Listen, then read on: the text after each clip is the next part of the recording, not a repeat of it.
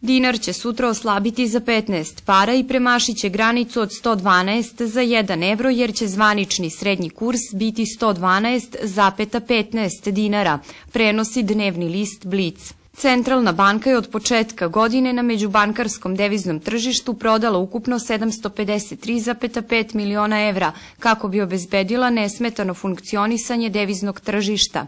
Dinar je ove godine bio najjači 11. januara, kada je 1 evro vredeo 103,69 dinara.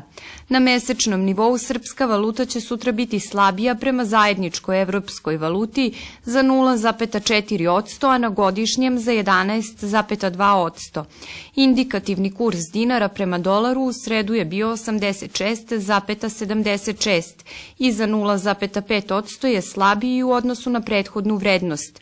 Dinar je prema dolaru oslabio za 1,9% u odnosu na pre mesec dana, a za 19,8% u odnosu na pre godinu dana.